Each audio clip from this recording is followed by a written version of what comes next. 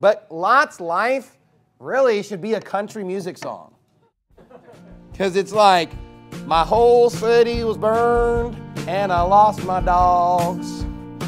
My wife turned back and is a pillar of salt.